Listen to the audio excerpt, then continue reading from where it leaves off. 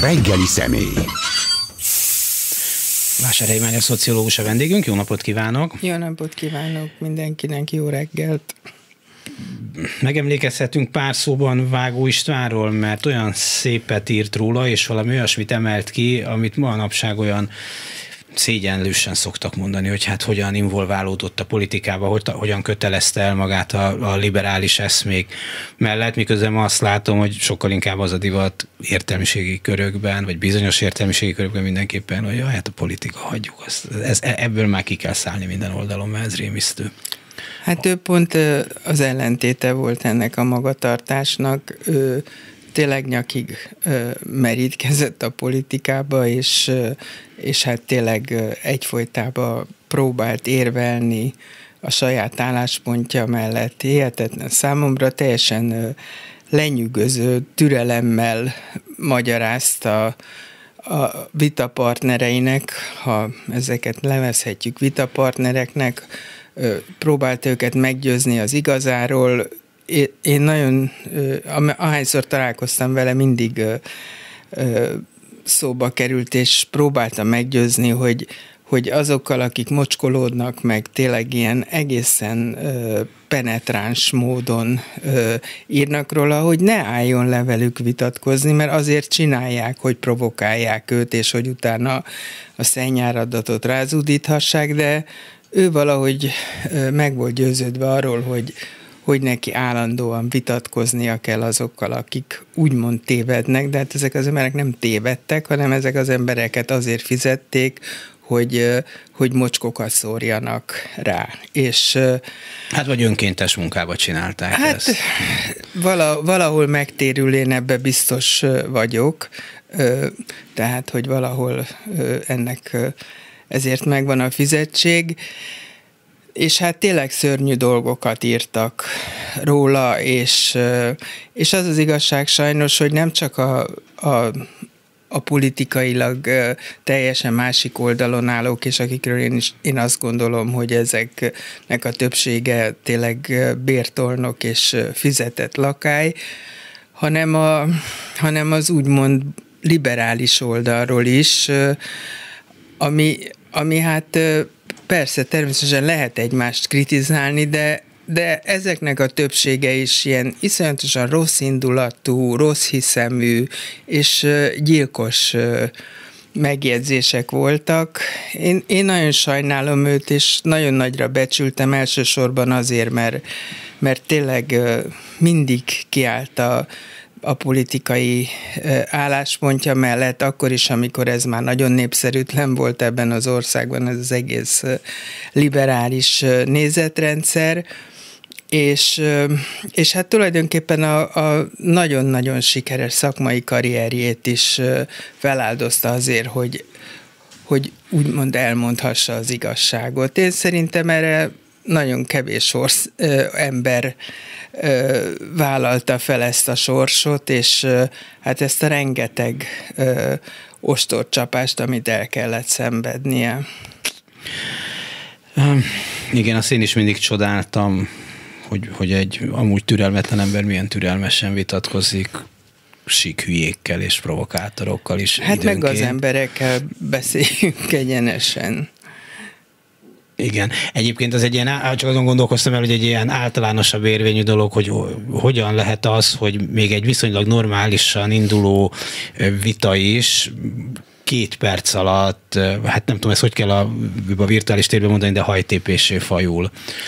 Én nem tudom, hogy más országokban is ez így működik-e, ennyire nem, nem, nem figyelem a dolgot, de, de Például ma volt egy nagyon érdekesnek induló vita, nem tudom, hogy látta hogy 57 május 1-én milyen sokan vettek részt azon a nevezetes május 1 felvonuláson, ugye pár perccel az 56-os forradalom leverése után, és akkor erről az emberek ott, a többségük ismerősöm, barátom is talán, meg, vagy kollégám, vagy nem tudom, jó véleménnyel vagyok róluk külön-külön, és akkor mondanak okosat, okosat, és egyszer csak valami félreértésen tulajdonképpen egy pillanat alatt egymásnak esnek, és ami olyan hangnembe mennek le olyan emberek, akik, tudom, hogy húps, tehát biztos valahogy a dologban van ilyen, hogy vagy mi vagyunk ennyire ingerlékenyek, hát, vagy, vagy, vagy, vagy, vagy, vagy mitől válnak ezek mind ilyen elkeseredett, reménytelen egyrészt, sárdobálásokká. Egyrészt én úgy gondolom, hogy ha mi magunk nem is megyünk le arra a szintre, ahol ma a közbeszéd tart Magyarországon, ami egyszerűen katasztrofális, és szerintem a, a 30-as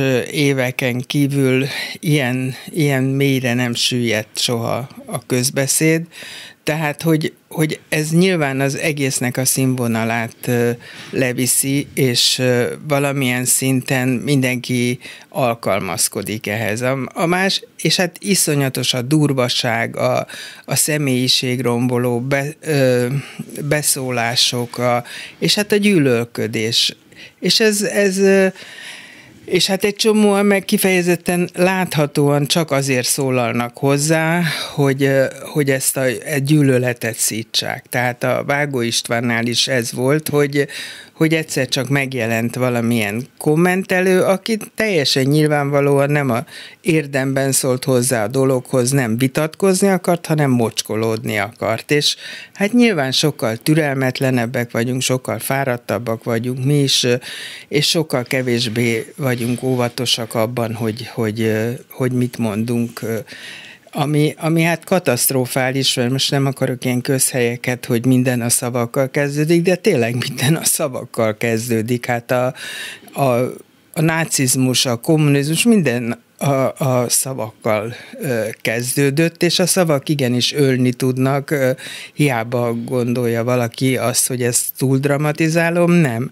A szavak gyilkosak, és a szavak tudják ezeket az indulatokat felébreszteni, ahogy a hutuknál és a tusziknál, vagy az örmény népírtásnál is mindig minden a propagandával kezdődött, nem csak a, a göbbelszi propagandával, hanem ezzel a, az indulatok és gyűlöletek és fél félelemnek a szításával.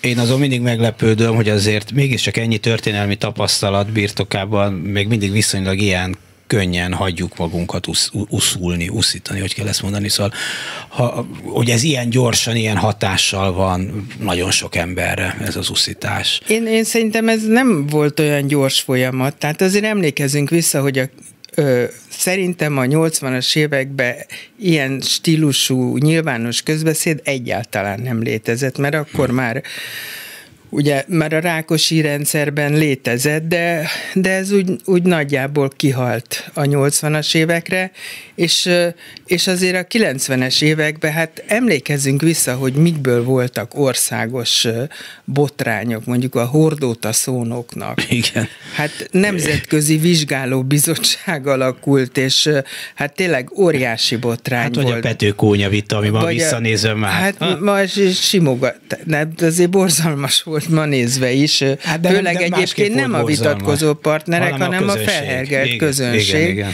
És ez szépen lassan ö, alakult ki, és hát azt kell mondanom, hogy 30 év szívós munkája van abban, hogy, hogy ma itt tartunk, hogy bárkiről bármit lehet mondani, és a másik oldalról senki nem védi meg azt, akit bántanak, tehát, hogy, hogy egyszerűen minden előfordulhat. Tehát ugye visszatérő például Vágó István, az embernek ezt én saját magamról is tudom, nem az a legszörnyűbb, amikor róla mondanak ilyen abszurd dolgokat, meg hazugságokat, hanem amikor a, mondjuk a szüleiről, vagy a gyerekeiről, az tényleg elviselhetetlen.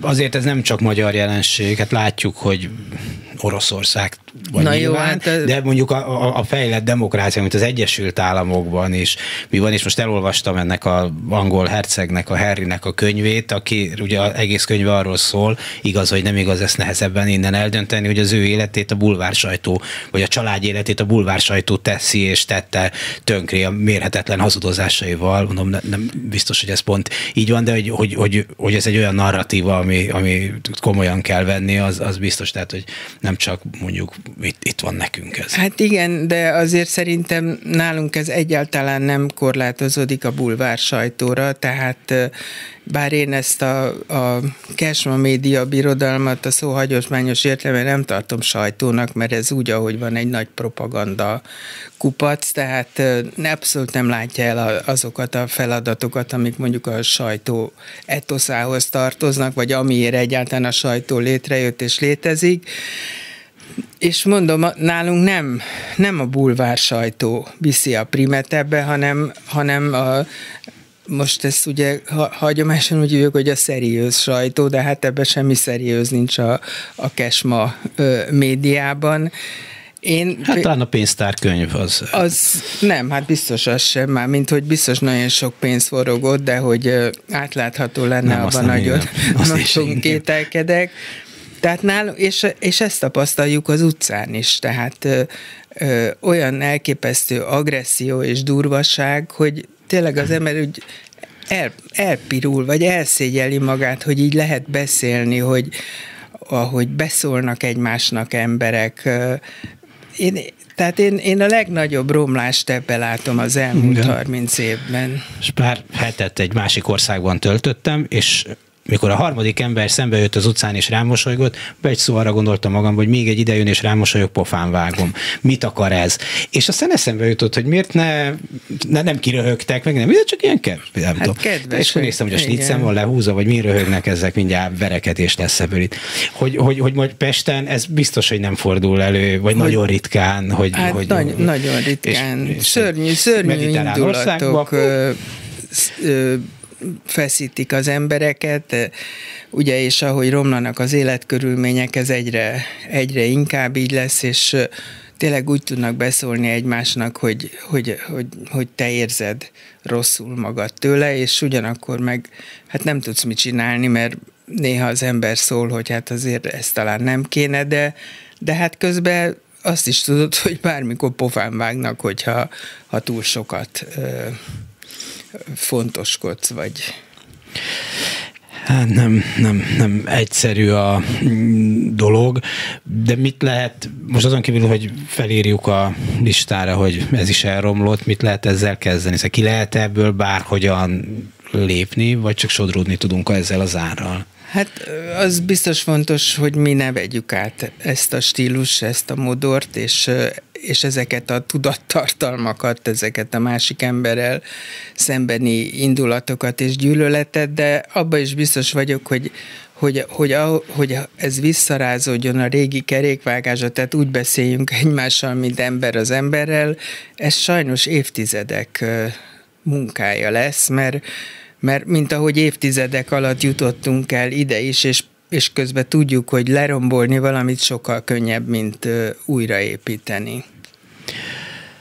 Nem tudom, hogy a hogy Ruandában ott, ott, ott, ott hogyan lettek túl, ugye ott az elég sok ember belehalt ebbe a a, a dologba, de hát mindig az a városi legenda járja, hogy mondjuk ott elítélték azokat, a, egy, egy spéci rádióállomás volt, azt hiszem, amilyen nagyon uszító Igen. volt, ott, ott, ott, ott azokat is elítélték, tehát eléggé rájöttek arra, hogy honnan indult ez a dolog. Hát igen, jó, mondjuk ott tényleg szörnyű, mert, ö, mert százezereket gyilkoltak meg, és valóban ö, abszolút és kizárólag a propaganda hatására. Tehát volt az a film, és ott hallhattuk, hogy, hogy milyen hangon úszították egymás ellen az embereket, és aztán ott volt egy, egy nagyon komoly szembenézés és megtisztulás, és, és volt egy közös politikai akarat arra, hogy, hogy valamilyen módon szembenézzenek ezzel, és, és okuljanak belőle. Enélkül ez nem megy, mint hogy semmi más sem megy. Tehát ha a legminimálisabb dolgokban sincs közös politikai akarat, akkor addig ez az ország azt gondolom, hogy ilyen állapotban fog maradni. Írt egy cikket az, az értelmiség árulásáról, és mondjuk nekem most az jutott, hogy az újságírók, ami már itt szó, szóba is került, és nyilván egy nagyon elnagyolt és felszínes kép az, de én a 80-as évek közepén lettem újságíró, még csak, ha csak gyakornok is, de akkor azt láttam azért egy átlagos napilapnál, hogy az a menő, aki egy picit bátor próbál lenni, ma már ezek értékelhetetlen dolgok, ha, ha az újságlapokat nézem, hogy, hogy mit mertek kimondani kollégák, de én azt tudom azt, hogy, hogy írtak arról, hogy Magyarországon vannak kábítószeresek, mondjuk a Boros István és Vértesi Péter barátom, akkor az egy nagy dolog volt, és ez egy nagyon komoly küzdelem volt. Tehát azok voltak a menő arcok, akik mindig egy picit lázadtak, és biztos akkor is nagyon sokan belesimultak a rendszerbe, meg, meg, meg, meg, meg persze nyilván nem volt ideális kép, de mégiscsak azokat tartottuk menőnek. Ma azt látom, hogy a mondjuk nem tudok jobb mondani, a kollégáim döntő többsége kies örömmel szolgálja azt a rendszert, ami belőle is majmot csinál. Hát én úgy gondolom, hogy hogy ne nevezze őket kollégáinak, tehát azt gondolom, hogy az egy másik szakma, amit önök művelnek, azt úgy hívják, hogy újságírás.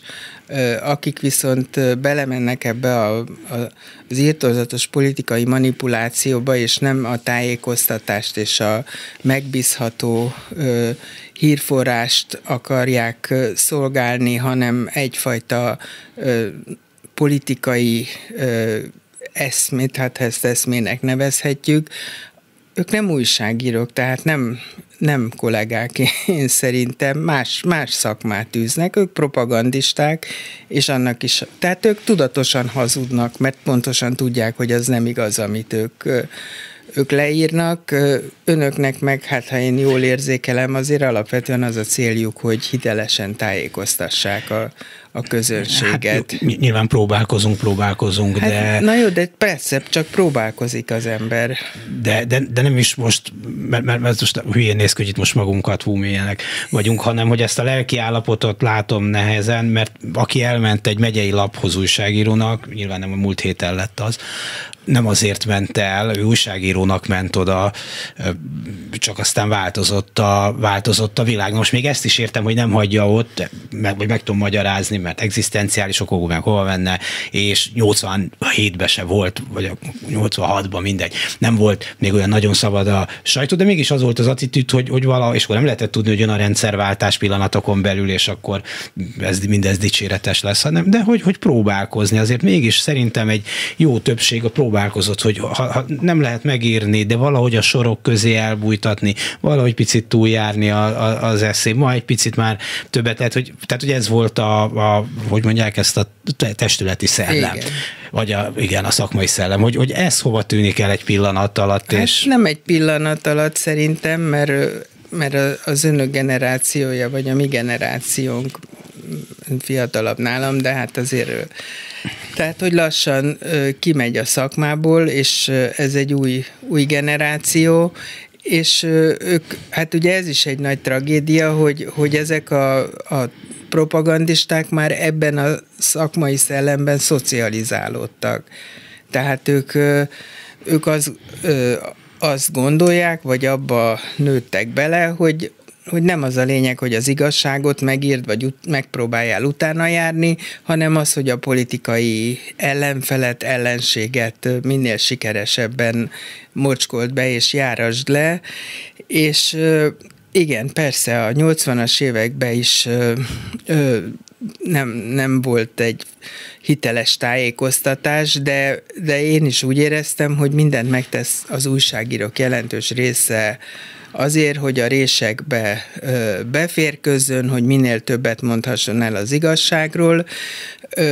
Ma pedig ez ez ott a, a, a kormánypropaganda egyáltalán nem cél, tehát az igazság az, az nem, hogy másodlagos, hanem sokadlagos szempont. Nekik az a feladatuk, hogy szolgálják a, a hatalmat, és ezért nyilván nagyon jól meg vannak fizetve, és pontosan látják, hogy azok, akik nem álltak be ebbe a sorba, azok igenis mindennapos egzisztenciális megélhetési gondokkal küzdködnek, de nem akarom felmenteni teljesen a, a, a, a liberális baloldali független médiát sem, mert én például azon teljesen meg vagyok döbbenve, hogy amikor közlik, hogy a pápa látogatáson a 444 ö, újságírói nem lehetnek jelen, és hát ez, ez is folyik már 1998 óta, hogy rendszeresen kitiltanak ö, újságírókat, akar, ellehetetlenítik, hogy végezzék a munkájukat hatalmi szóval, akkor erre nem az a reakció, hogy akkor mi sem megyünk. Igen. Most ezen vég, most nazakson, hogyha nem személyesen fényképezik le a pápát, hanem átveszik a az MT, ők se, jó, Igen. hát van egy-két elkapott jó pillanat, de nem éri meg azt, Igen. hogy elárulni azokat az újságírókat, akiket minősíthetetlen módon nem kapnak akkreditációt arra, hogy egy ilyen eseményt, ami az ország minden állampolgárára tartozik, ők, ők ezen nem vehetnek részt, és nem fény. Viszont Budaházi György részt vehet, és, és a pápai, Tényleg? hát ő mondta is, nem hogy mondta. ő el elmegy a gyűlésre. Hát a újságíróként legalább. És magára veszi a pápa áldását. Szegény pápa. Hát most nem tudom, mikor volt ez, 2010 után nem sokkal, amikor talán kitiltották, vagy a parlament egy részéből az újságírókat, és akkor én egy napilapnak voltam az egyik vezetője, és végig hívogattam azokat a kollégáimat, akik hasonló pozícióban voltak mindenféle interneten, és mondtam, hogy akkor most nem menjünk be. Uh-huh. Hát különféle válaszok voltak, egyrészt, hogy ne szóljak bele, ez mondjuk ezt a ifjú titánok mondták, hogy azért én már nem döntsem el, nem itt az öreg faszok döntsék el, hogy, hogy ő mit csinál, kettő semmi haszna, valaki úgy is bemegy, áminek, még így is lehet valamit csinálni, na ebbe még lehet, hogy tehát két perc alatt összedült a remek tervem, amit nyilván valami moziba láttam egyszer, hogy van olyan, hogy az emberek összefognak és, és csinálnak valamit. Egy pillanat alatt megdőlt, és annyira, csak az, így, így hozzászokik ehhez az ember a gondolathoz, hogy én láttam ezt a 440-es négyes sírt, de már így átfutott rajta a szemem. Nem, már nem is tudtam igazán fölháborodni rajta már. Igen, hát én nekem azért mindig eszembe jut, és eszembe jut az a 1998-as, mikor a Fidesz kormány, első Fidesz kormány megalakult, és valahol Leányfalun vagy Szentendrén volt ö, ö, kormányülés, és utána sajtótájékoztató, és akkor fordult, el, először, fordult elő először, hogy nem engedték be a Magyar Hírlap, a Népszabadság, a, nem tudom, Magyar Narancs, és, az, mhm. és tehát akik ö, oda mentek. Na most szerintem akkor kellett volna azt Igen. mondani az összes nem, hogy akkor köszönj, sőt, normális országban szerintem a kormánypárti Igen. újságírók is az, azt mondják, mert hogy erre mondom én, hogy minimális konszenzusnak kell lenni, például, hogy mire való a sajtó, és milyen jogok illetik meg, és és mivel akkor látták, hogy ez megy, egyre durvább, és egyébként ez a szegény, a parlament folyosóján futko, ezekbe a ketrecekbe futkosó újságírók is ö, azt kell, hogy mondjam, hogy hát egyik oldalról mélyen együtt érzek velük. A másik oldalról azt gondolom, hogy hogy nem kéne oda bemenni, mert szerintem rá tök megalázó, tehát a, ezt nézi egy nem olyan politikával sokat foglalkozó ember, és azt látja, hogy mint a mérgezett egerek futkosnak, állandóan megalázzák őket percenként a politikusok a pimasz penetráns válaszaikkal, tehát egyáltalán nem jól kerülnek ki ebből. Tehát én úgy gondolom, hogy kéne itt egy egységesen felvállalt magatartás, hogy egyrészt nem lehet diszkriminálni már újságírókat, másrészt nem lehet megalázni őket, és nem lehet korlátozni a tevékenységükben. Azért, mikor itt ma reggel is arról beszéltem, vagy kérdezgettem Pilc Olivért, hogy miért nem tudnak a tanárok összefogni a saját érdekükben, azért ilyenkor még átfut a fejevel, hogy de hogy visszakérdezzen, na miért maguk össze tudtak fogni, az újságírók össze tudtak fogni? Nem tudtak. Ugyanígy hagytuk magunkat, és nyilván ennek az egyéni felelőssége kinek-kinek más, de ugyanúgy, mint, mint hivatásrendikor, ugyanúgy hagytuk magunkat ledarálni, Igen, mint én, bárki én, más. én is úgy gondolom, hogy, hogy nincs egymás, nem lehet egymás, egymás szemére, sokat, mert sajnos ez minden hivatásnál és szakmánál ezt tapasztaljuk, az értelmiségi szakmáknál is, hogy persze mindig van néhány tíz vagy száz ember, aki vállalná, de hát itt az erő csak tényleg a, a, a sokaságban van, tehát attól, hogy, hogy a 130 ezer pedagógusból 10 ezer tiltakozik, ez csak megerősíti a kormányt abban, hogy jó úton jár, mert lám-lám a tanárok 90%-a ha nem is örömmel, de elfogadja ezt a helyzetet. Én ennyiben vitatkoznék azzal az írásával, ami az értelmiség, vagy a vezető értelmiség árulása címet viseli. Ez egyébként a Klubrádiónak van egy ilyen vélemény publicisztikai rovatunk a jeles szerzőkkel, abban jelent meg, mert, mert mi azt gondoljuk, hogy innen nézve ez talán árulás, de lehet, hogy nagyon sokan azt gondolják, hogy ez a jó. Tehát ő nem úgy érzi, hogy áruló, hanem, hanem neki jó, ami itt történik, és nem arról van szó, hogy nem ismeri fel, hogy nem jó neki, hanem de felismeri egy csomó szempontból, és szerintem most a pedagógusokkal nagyon kitolnak, tehát most egy kicsit megdől ez az elméletem, hogy, de hogy jó, mert, mert sokkal egyszerűbb a dolog, mert meg lehet buktatni a gyereket, ha okoskodik, mert nem kell integrált oktatással vacakolni, amit a lipsik ránk akartak. Erőltetni, mert nem kell nekem tantervet írnom, hanem a kezembe nyomják, és ezért sokkal nem kell, hogy ez a vitatkozni a szülőkkel, hogy ez a tankönyv, vagy az, ez van, kus, és hazaviszed. És ezt nyilván egy csomó más szakmánál is el lehet mondani, tehát, hogy, hogy ez nekik mégiscsak, mégiscsak jó. I- igen, van. hát nyilván ö, ugye, mert, mert ez a történet sem ma kezdődött, hanem ugye akkor kezdődött, amikor ugye az ezerszer kiátkozott Magyar Bálint megpróbálta az egész oktatási struktúrát korszerűsíteni, és eszébe jutottak olyan dolgok, hogy mondjuk ne legyen a gyerek táskája 10 kilós, és ne osztályozzanak az alsó tagozatba, tehát csupa humánus dolog, ami tulajdonképpen a gyerekek életét teszi élhetőbbé és könnyebbé, és nyilván a pedagógusoknak több és másfajta erőfeszítést kell, tehát nem izé, nátpálcával kell sétálni, vagy nem megalázni kell a gyerekeket, hanem hát sokkal több figyelmet ért, meg ugye a szabad tankönyvválasztás, és hát én, úgy, én is úgy éreztem, hogy a leginkább a pedagógusok tiltakoztak ezzel ellen, a pedagóg, ott is a nagyobb rész. Persze volt 10% aki látta, hogy ez a jövő útja, meg hogy a, így lehet autonóm felnőtteket nevelni a diákokból, de tulajdonképpen a kormány hosszú ideig tehát az megfelelt a pedagógusoknak, hogy a, hogy a gyerekeknek minél szarabb az iskolába, tehát hogy nem nevelik őket önálló gondolkodásra, hogy ez, az, ez a face-to-face tanítás, ez az iszonyatos tényanyag bemagoltatása, csak ne gondolkodjanak, és akkor beindul egy ilyen folyamat, és, és egyre durvább lesz, és ma ott tartunk, hogy, hogy, hogy a tanár taníthat 28 órát is egy héten, és ide-oda kirendelhető, és taníthat egyszerre több iskola. Tehát, hogy, hogy ennek azt kell mondanom, hogy törvényszerű következménye, és ez már nem tetszik a tanároknak, mert én nem hiszem, hogy valakinek tetszik, hogy a, a terheit ilyen mértékben növelik, hogy, hogy lehet őt iskoláról iskolára, mint hogyha itt ilyen tárgyakat tanítanának, tehát hogy tök mindegy annak a gyereknek, hogy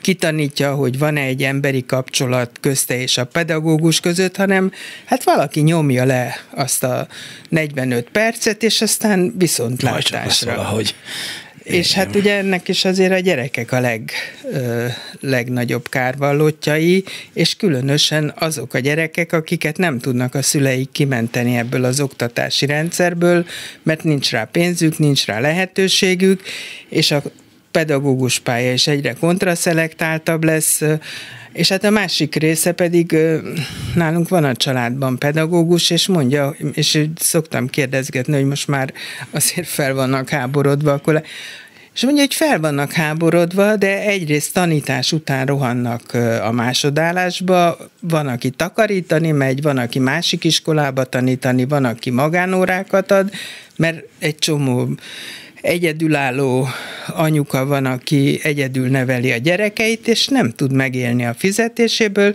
és nem marad ideje arra, hogy azzal foglalkozzon, hogy ez neki most jó vagy nem jó, mert enni kell adni a gyereknek.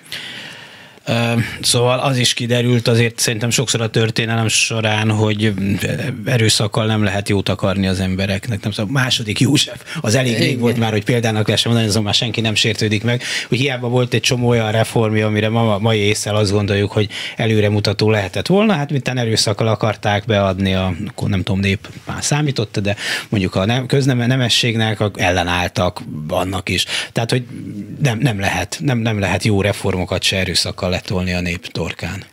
Hát én azért nem érzem úgy, hogy az erőszak lett volna, amit mondjuk a magyar bálinték csináltak. Megpróbálták irányítani és átalakítani az oktatási rendszert, ami hát iszonyú nagy e- ellenállásba ütközött, és szerintem ennek a levét isszuk, és fogjuk még inni évtizedeken keresztül az erőszak az az, ami most történik. A, a magyar bálinték bevezették ezeket, de nem, én nem éreztem erőszakoskodásnak. Hát nyilván, egy területet irányítanak, van egy e, jó esetben, mert mondjuk a mostani miniszterről nem gondolom, hogy bármiről van valami a fejébe azon kívül, hogy végrehajtsa Orbán Viktor parancsait. Most én nem is a, a régi dolgokra gondoltam, hanem arra, hogy ugye eléggé látszik, hogy ez az oktatási rendszer nem jó, nem jó a diákoknak, nyilván ez lenne a legfontosabb, nem, nem jó a tanároknak, nem, nem jó tulajdonképpen senkinek, de most, most úgy tűnik, hogy egy kisebbség próbálja megmondani nektek, hogy ez nektek így nem ő, és csináljátok. Hát ott a tanárok többsége, ha fel is háborodik, nem eléggé ahhoz. Nekem, nekem egy csomó nagyon kitűnő tanárbarátom van, akik még mindig, mindig tanár, és nem hagyta ott, és, és tudom, hogy fantasztikus dolgokat tesznek, és meg is szoktak sértődni, mikor azt mondom, hogy miattatok nem dől össze a rendszer, mert vagytok ott páran, akik tényleg elképesztő teljesítményt csináltok, és ezért nem feltűnő még mindig, hogy milyen elképesztő nagy baj van, mert elfeditek a baj, de én nem mondhatom meg, nek, vagy nem tudom, és ugyanez hát a nem, és ugyanígy ö, ö, szerettem volna mondani, hogy, hogy azt mondod, hogy, hogy hát nekik jó, vagy őket nem zavarja. Hát ha nem zavarja őket, hogy, hogy kirúgták nem tudom hány kollégájukat, egyszerűen csak azért, mert nem voltak hajlandóak befeküdni, vagy végrehajtani ezeket az elveikkel teljesen ellentétes parancsokat, az nagyon nagy baj. Tehát, hogyha ha, val, ha, ha egy egész pedagógus társadalom szó nélkül nézi végig, hogy, hogy, hogy kollégákat egzisztenciálisan ellehetetlenítenek azért, mert más gondolnak a pedagógia feladatának, ott hát nagyon nagy baj van, de tudjuk, hogy nagyon nagy baj van, mert, mert ez az ország nem tartana itt, hogyha ha valóban az értelmiség, amelyiknek, mert ugye mindig arról beszélünk, hogy hát a Fidesz ez az alacsonyabban képzett, kis településen élő ö, vallásos, vagy, vagy legalábbis a maga módján hívő réteg tartja hatalomba, akik nem tájékozódnak, de Hát ők adják rájuk a voksukat, de mégse ők tartják szerintem hatalomba, mert azért azt láttuk a történelemből, hogy mindenfajta elégedetlenségnek mozgolódás azért az értelmiségtől indul el, és ameddig az értelmiség így viselkedik, ahogy nálunk, és persze most mindig el tegyük hozzá, hogy vannak kivételek, Ajaj. nem is kevesen, de azért nézzük meg az akadémiai ö, értelmiséget, nézzük meg a, a felsőoktatás vezetőit, a rektori tanácsot, ö, nézzük meg a, ennek a pedagógus szakmának a, a vezetőit, akik akik igenis karrier szempontok, nyilván anyagi szempontok, stb. stb. miatt szó nélkül nézik végig, ahogy bedarálják az egész rendszert, amit ők Szerintem nem mindig szó nélkül, mert azért az akadémiai intézményrendszer átalakításakor is uh, voltak tiltakozások, és a CEU egyébként egészen példátlan elüldözésekor is hát szerintem hatalmas, hatalmas, de itteni viszonyokhoz képest hatalmas tüntetések voltak, hogy, hogy, hogy a Kádár rendszerben féltek az emberektől annyira, nem, valószínűleg önbizalom hiány miatt, meg 56 miatt, de még a 80-as években is a három ember összejött, az már hú, mi volt, és egy falfirka miatt óriási nyomozás volt, és, és botrány, és izé. most meg rájöttek arra, hogy kimegy 50 ezer ember tüntet a cél, nem baj, majd egy óra múlva hazamennek, és, és nem fog, nem, nem változtat az eseményeken. Kicsit tüntetgessenek lehet hazamenni, szóval hogy nem, nem ettől azért nem hát kell félni. Persze, mikor én arról beszélek, beszélek, hogy általában akkor mindig hozzáteszem, hogy vannak kivételek, mert ugye az akadémiai vezetés, vagy az akadémikusok közül is voltak 28-an, vagy nem, akik ellenálltak. Nem tudom, hány száz, de hát mondjuk, ezerből. Igen. igen.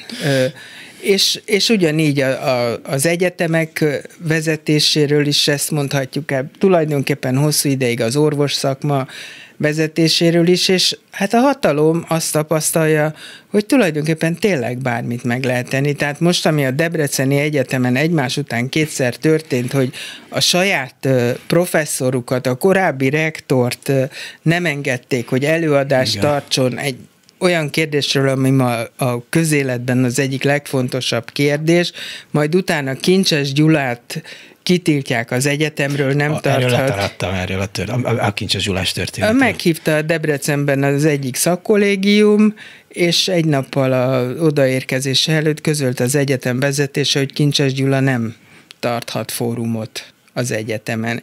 Ez és, az az egyetem, ahol Pucsin díszdoktor Igen, lett. igen, és hát te, azért maradtál te, le, te is le erről, mert ennek majdnem semmi visszhangja nem volt. Tehát egyszerűen én úgy gondolom, hogy, hogy itt nem a azokra az emberekre kéne hárítani a felelősséget elsősorban, akik, akik egyrészt nyomorognak, és tulajdonképpen a mindennapi betevő kenyér az életük legfontosabb problémája, akik abszolút tájékozatlanok, mert mert nem politizálnak reggeltől estig, nekik annyi a hírek, hogy meghallgatják mondjuk a este fél nyolckor, vagy nem tudom mikor van a, az állami televízióban a hírek, és hát totál félre vannak tájékoztatva, és hát nem, kisebb gondjuk is nagyobb annál, mint hogy, hogy, hogy híreket keresenek.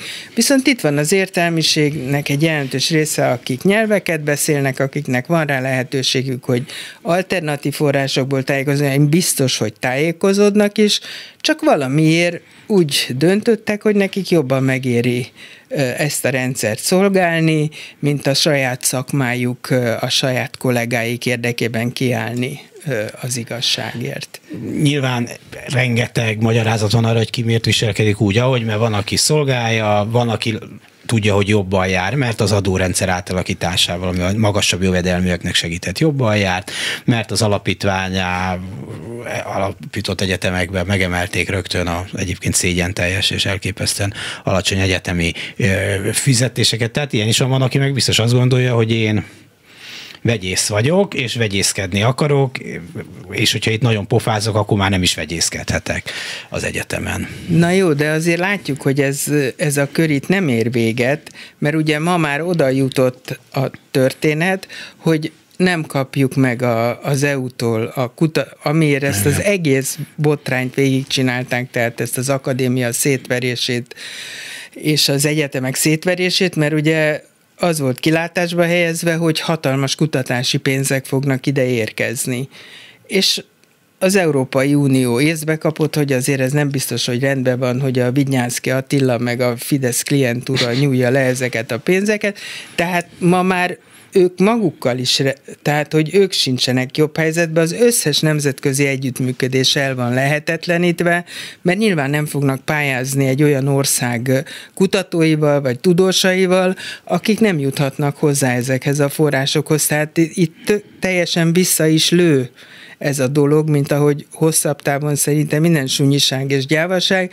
Másrészt meg én megértem, hogy mindenki élni akar, meg előre jutni akar, de azért mondjuk, amit az egyetemekkel csináltak, én ezt akkor is egy olyan fajta szakmai, aki ebben részt vett, hogy, hogy egyszerűen kiszervezik a, az egyetemeket és magánalapítványokba és életfolytiglan kinevezett kurátorokkal, én ezt nem tudom másnak titulálni, mint, mint a legfelháborítóbb árulásnak. Tehát em, ez, hogy a szétverem, a, részt veszek a saját szakmámnak és annak a jövőjének a szétverésébe, ezt már nem lehet szerintem egzisztenciális okokkal indokolni. Tudom, hogy most nagyon nem divatos Marxra vagy marxizmusra hivatkozni, főleg ilyen vulgár marxizmusra, ami tőlem maximum telik, de hogy valami olyasmi szerepel, hogy kell egy, kell egy élcsapat, kell valaki, aki megszervezi az ellenállást. Most igen. itt is ezt látom, nem, hogy egy nagyon sokan azért azt gondolják, hogy ez így, így nem jó, még ha bele is törődnek, meg nem tudnak vele tenni, meg nincs oda, de nem látják azt a politikai szervező erőt,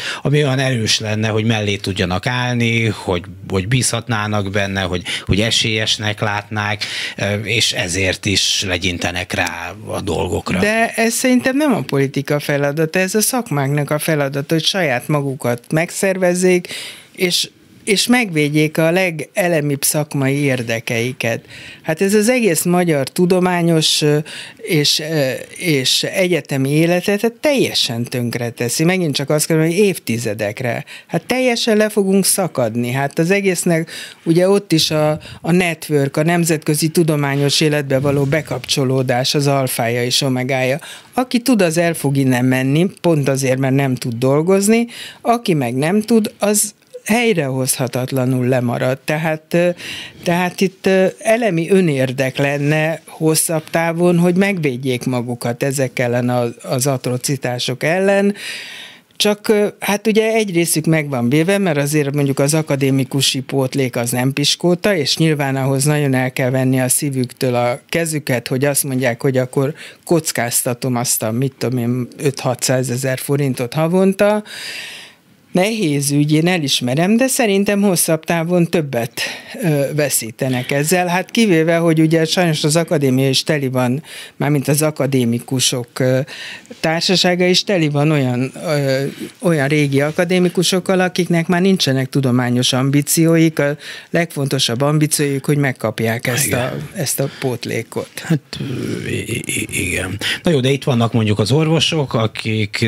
kicsit okoskodni, mert az szervezetük másnapra meg is szüntették a kamera kötelező tagságát. Más kérdés, hogy az hát is egy ez nagyon dolog. visszafelé sült el, és, és ebből látszik, igen, hogy érdemes. Igen, igen, és hát most majd meglátjuk, hogy mit tudnak csinálni, vagy, vagy mire mennek ezzel, de az első lépés meg volt, azt hiszem a kétharmaduk, igen, éppen a előbb emlegetett Kincses Gyula vezette orvosi igen. kamarába vissza, visszalépett. Tehát úgy tűnik, hogy mégse adják olyan olcsón a bőrüket. Igen, sajnos ez a társadalom erre van szocializálva, és ez nem most kezdődött, hanem már leg, legalább a 19. század. Tehát azért emlékszünk azokra az almanakokra, ahol az egyik oldalon a Kossuth Lajos, a másik oldalon a Ferenc József képe volt, és mind a kettőért ugyanúgy rajongtak az emberek, talán Ferenc Józsefért egy kicsit jobban, és tehát ez a, ez a társadalom so, eltekintve mondjuk a rendszerváltás utáni húsz évtől soha nem volt szabad és önálló, és hát ez egy nagyon nehéz és hosszú lecke beletanulni ebbe, a, mert azért a szabadság nem egy olyan könnyű dolog. Jó, hát van az a bibliai történet, hogy 40 évig kell Igen. a pusztába vándorolni, na de hát abból most már 30, nem tudom én mennyi eltelt. De nem vándoroltunk a pusztában. Igen, de a manna se esett le. nem. De tulajdonképpen 13 éve vándorolunk a pusztába, mert azelőtt azért úgy érezhettük, hogy, hogy elindultunk egy irányba, ami ami, ami hosszabb távon Magyarország felemelkedéséhez, felzárkózásához vezethet. Tehát ha 40 évre gondolunk, akkor még csak nagyon keveset tudtunk le belőle.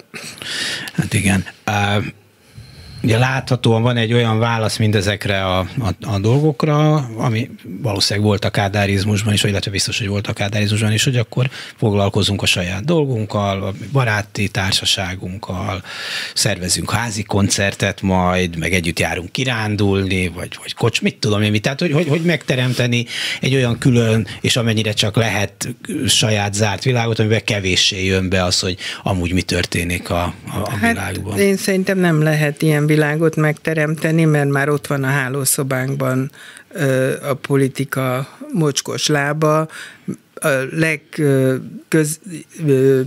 legdiszkrétebb magánéletünkbe is rendszeresen beleavatkoznak, beleszólnak, szabályokat találnak ki, és hát a másik része pedig, ami nyilván nagyon sokunkat érint, hogy a gyerekeink elmennek innen. Hát ha ez nem érint minket, akkor mi érint? Hát szerintem azoknak a szülőknek, akiknek elmentek a gyerekei, a többsége soha nem gondolta, hogy megkönnyebbülten fogja látni, hogy, hogy elmegy innen a gyereke, és tényleg a, a saját családjával és szakmai jövőjével tud foglalkozni, ahelyett, hogy mindenféle listákon szerepelne, mert XY-nak a gyereke, és ezért nem vehet részt valamiben. Mert hát itt ilyen szinten mennek már a dolgok a az én fiam is akkor döntött el végleg, hogy elmegy innen, mikor bekerült egy ilyen nagy V4-es projektbe, és hát valakinek a kezébe került ez a lista, és fogta és kihúzta onnan, mert az én gyerek. Pedig elég apolitikus a szakmája, mint zenésznek. Hát elég apolitikus a Tehát, szakmája, az, és egyáltalán nem szerintem engem se kéne kihúzni semmilyen listára, de ja, én... Nem, nem, igen, csak az én nem, a teljes De én amikor újra hatalomra került a Fidesz, én el is döntöttem, hogy kiszállok a saját szakmámból, mert soha nem fogom azt az örömöt megszerezni nekik, hogy kihúzanak a listáról. Én már pedig az, amit én csináltam, az csak pénzzel ö, csinálható. Ez a közvéleménykutatás. Igen, igen, de, de az, hogy, hogy valakit azért, mert hogy ki az anyja vagy az apja, és egy ilyen egy éve előkészített projektből egy vonal, vonással kihúzzák, ez azt gondolom, hogy elég ok arra, hogy úgy döntse, hogy ő nem akar itt szakmai karriert. Nem, is, nem tudom, ismerem ezt a konkrét ügyet, de azért fölteszem, nem Orbán Viktor húzza ki. Tehát, és ugyanez a Pécs, vagy Debreceni Egyetem, bocsánat, Debreceni Egyetemnél, aki kitiltja az orvosi kamara elnökét, vagy a professzor társát, az nem Orbán Viktor, hanem valaki, aki ezzel jó pontokat akar szerezni a rendszerben, és hogy Igen. hát hány ilyen, hogy És mondta, a többi és kollega, akiknek csak a töredék része lázadt föl ezzel nem, mert nyilván, ha tudnák, hogy egy ilyen történésre összeáll az egyébként akár egymást utáló oktatók tömege is és tiltakozik, akkor nem csinálnák. Én ebbe biztos vagyok. Azt csinálják, amit, amiről úgy látják, hogy, hogy, hogy, hogy meg lehet csinálni. És hát az is egy óriási tragédia szerintem, hogy ennek az országnak a felső vezetői, akik a döntéseket hozzák, soha életükben nem dolgoztak munkahelyen, nem is dolgoztak. No, most tudom, hogy a politika is egy nehéz munka, csak más, hogy egyszerűen nem is tudják, Na, hogy... László dolgozott a SZMPKV Társadalomtudományi Intézetében hát például. De tehát, hogy egyszerűen a munka tisztelete, vagy az elért, a munkában elért eredmények tisztelet. Fogalmuk sincs, hogy az, az milyen erőfeszítésekbe kerül, mennyi áldozatot kíván, mennyi kreatív. Tehát szerintem ez egy tragédia, hogyha egy országot olyan emberek vezetnek, akik nem tisztelik a munkát, a teljesítményt, az elért eredményeket, az pont ide vezet. Jó, mondjuk az egy ilyen történelmi furcsa helyzet volt, hogy, hogy éppen akkor így kerültek hát, bele a, a politikába. Igen, én azért nem tartom őket felelősnek, csak látjuk, hogy... hogy de ettől, még, ettől még, hát, hát ugye, ugye az a furcsa, hogy kiderült, hogy, hogy milyen sokat eltűr egy társadalom, tehát, hogy, hogy az, mindig azt mondták a kollégáim, mikor erről szó volt, hogy jó, hát a jogállamiság lebontását azt nem érti. Az nagyon bonyolult, hogy mi az alkotmánybíróság hatáskörés, és ez azért tényleg, ezt mi se értjük teljesen, ezzel nem lehet. Az, hogy a, hogyan szállnak meg, hát jó, hát ez is, meg mit érdekli.